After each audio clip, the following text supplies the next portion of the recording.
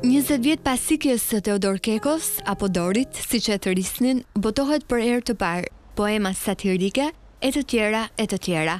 E shkruar në vitin e mbrapsht nëntëdhjetë e shtatë, madje edhe atëherë kur euforia kishte pushtuar shqiptarët për shkak të lulëzimit të firmave piramidale, Dori e parashikoi fundin e hidhur. Është herë e parë që poema po botohet në formën e saj integrale, sepse për herë të parë Dori e ka botuar në vitin nëntëdhjetë e shtatë. Ka botuar vetëm pjesën e parë të poemës. Pjesën e dytë ai e la të hapur, sepse kishte shumë dëshirë që të gjithë miqtë e tij të kontribonin. Poema e ka marrë spunton nga poezia Diskotekë Albania në tetëdhjetë e katër. Të gjithë miqtë e pëlqyen, ishte koha që shqiptarët po gëzoheshin me mashtrimin e fajdeve dhe Dori në atë kohë, që në atë moment e parashikoi se çfarë do ndodhte.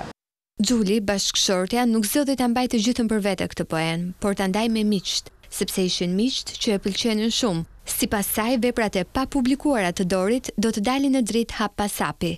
Pjesën e dytë e shkruajti në vjeshtën e vitit nëntëdhjetë e shtatë dhe nuk e botoi sepse kishte shumë dëshirë që të gjithë njerëzit të kontribonin në një farë. Dhe unë mendoj që vazhdojnë njerëzit vazhdojnë dhe kontribojnë.